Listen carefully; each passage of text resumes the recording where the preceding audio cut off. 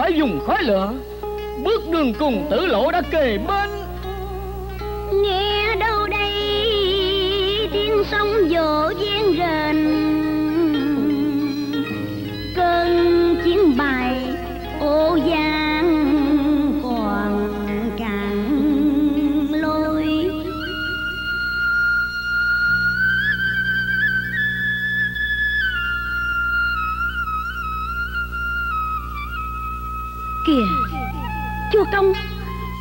công có nghe chăng? Phải chăng nàng muốn nói? Theo tiếng sáo u hoài rái rứt tự phương nào vọng lại não hồn quê? Chúa công ơi mau tàn quân đã đậm sơn khê mà tiếng sáo vẫn vọng về cung ly máu. Máu thấm phá hồng nhuộm chiến ta tới, khôi dấp rất quân kỳ. Ngập ngừng gió ngựa miền quang tây giữa chốn xa trường. Vàng tử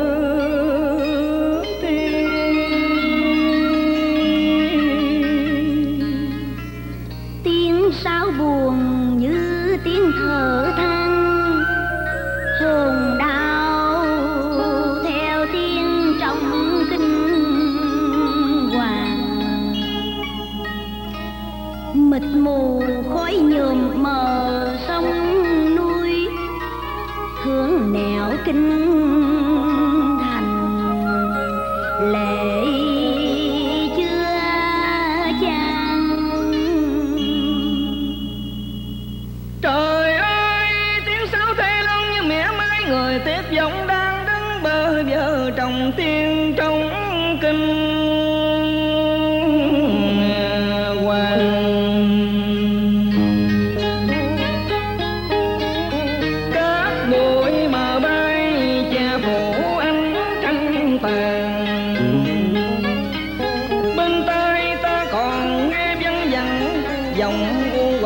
tiếng sáo trung lương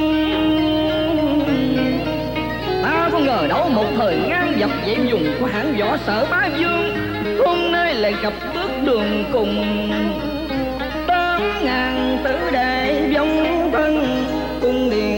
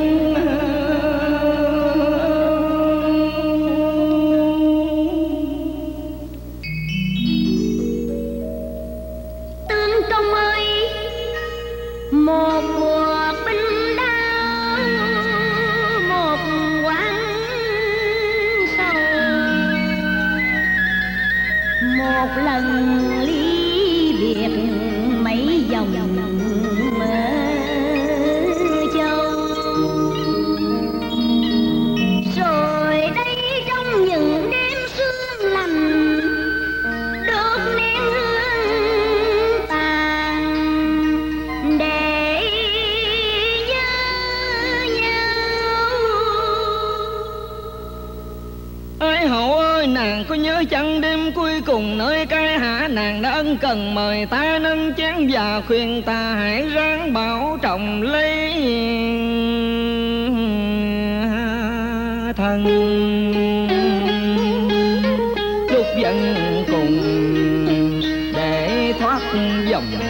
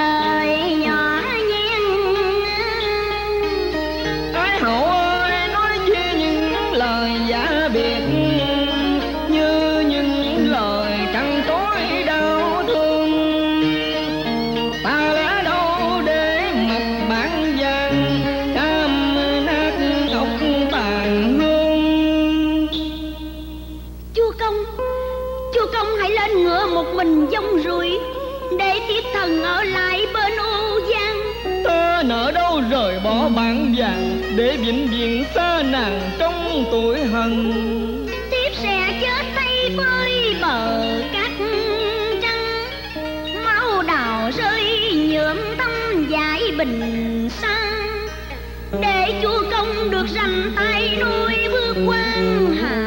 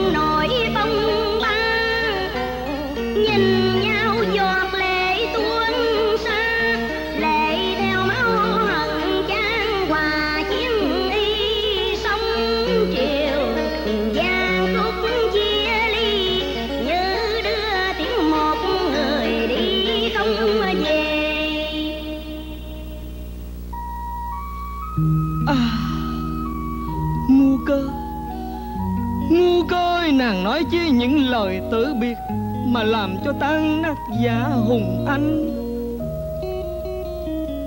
Chú Công Qua mấy ngày đêm trên đường bốn tàu Thế xem chú Công đã mệt mỏi lắm rồi. Chú Công nằm nghỉ một chút Để rồi sáng mai lại tiếp tục lên đường. Phải, nàng nói phải lắm. Ta cũng phải cần ngơi nghỉ.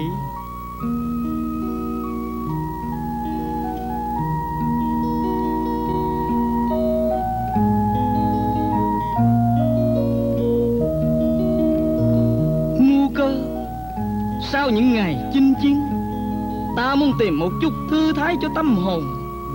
Hay là Nàng hãy hát cho ta nghe bài hát trước kia. Nàng đã từng hát khi ta cùng nhau đối âm.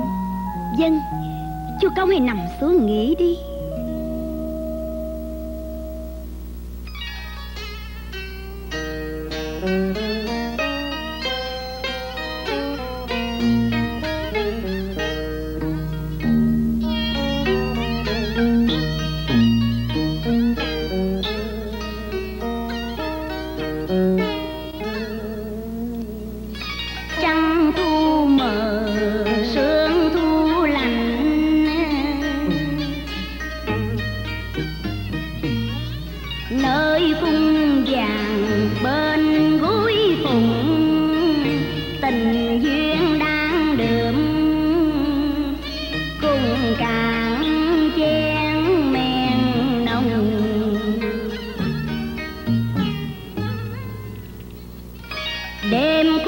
go.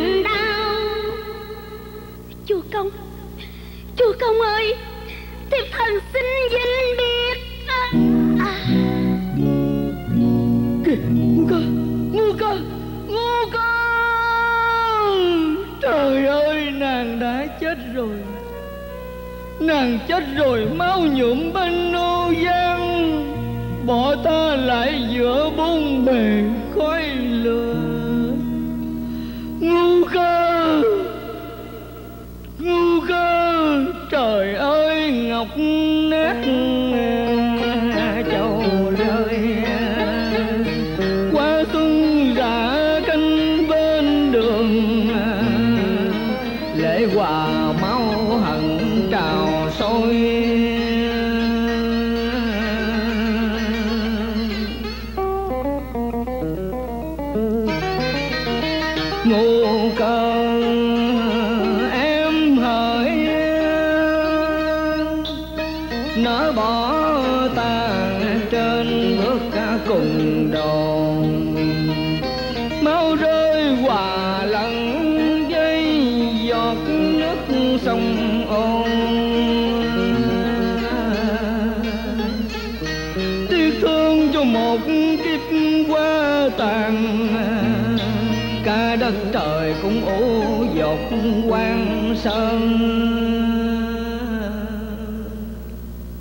Ngu cơ ngu cơ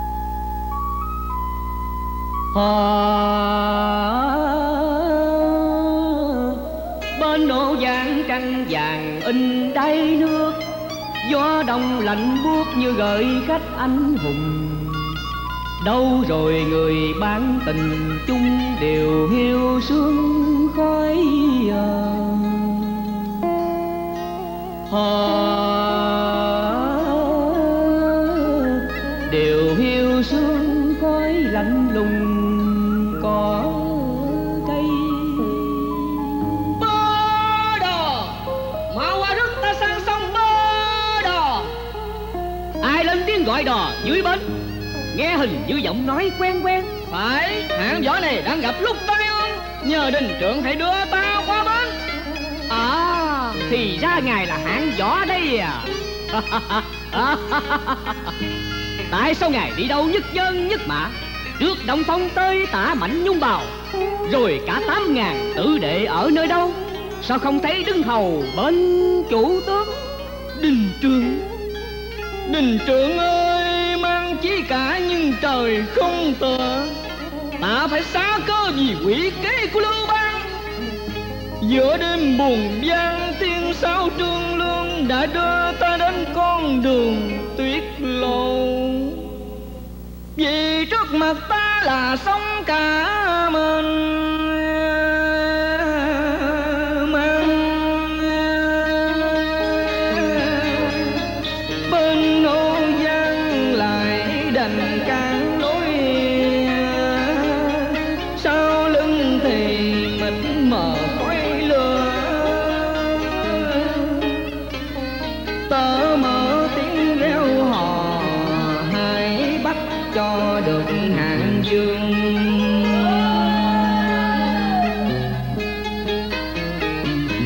trên đường bôn ba.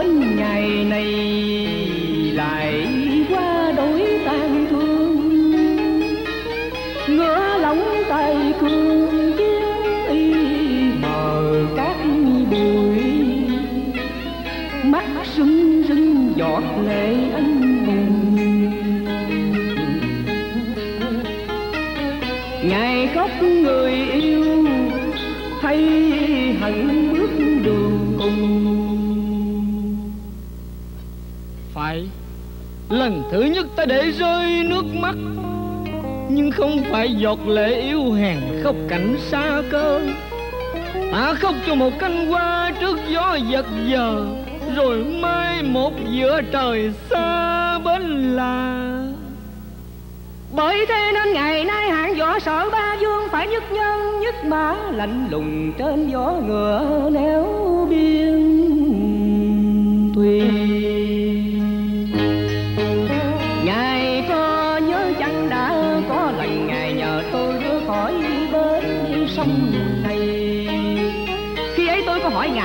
Chiếm một phần giang sơn đất thắng vậy chớ lòng của dân ngài đã chiếm được hay chưa ngài làm tinh ngạo nghễ nhìn tôi, nhiều đôi mắt không trả lời câu tôi hỏi.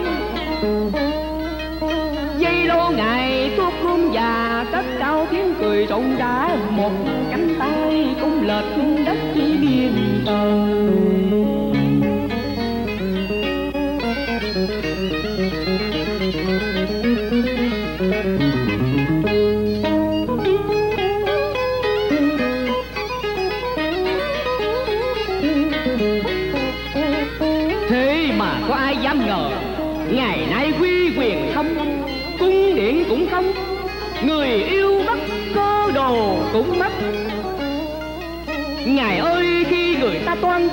lòng dân bằng quy quyền võ lực, Thì găm dốc sơn hà đâu hướng được bền đâu Thì đó, Ngài có thấy không? Trước khi Ngài tới đây với mấy dạng tinh binh, Một tiếng thét nước ô giang còn dứt mình xám mặt. Rồi ngài tay trong cơn tắc thế ngài đi đâu lờ đâu một mình. Ngài ơi, có lẽ hôm nay ngài đã biết thế nào là cay đắng nhục chinh đời đâu có chi là vững bền trường cứu mảnh trăng mới quyết chưa tròn tay không hạng gió lại hoàng tay không. À. Đình trưởng ơi, người nói chi phải? Ta hiện giờ là một tên chiến bại, Cả một thời oanh liệt đất Giang Đông. Đến ngày nay sự nghiệp đã hoàn không, Ta còn muốn sang sông làm chi nữa? Không không. Tôi tuy là kẻ chèo đò dốt nát Nhưng thấy chuyện đời nên bàn bạc một vài câu. Chứ trước tình cảnh của ngài Dạ tôi cũng nao nao. Vậy mời ngài xuống bến, Tôi đưa dùm làm nghĩa. Không không, ta còn sang sông làm chi nữa, Vì giờ đây thân ta chỉ là một kẻ tàn binh chiến bại vừa sang